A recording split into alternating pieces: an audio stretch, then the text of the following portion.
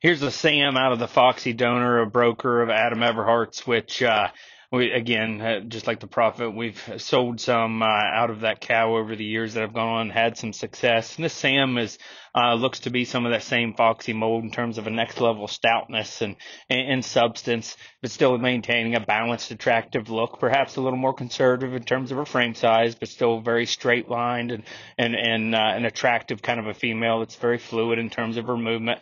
Real high quality purebred female here.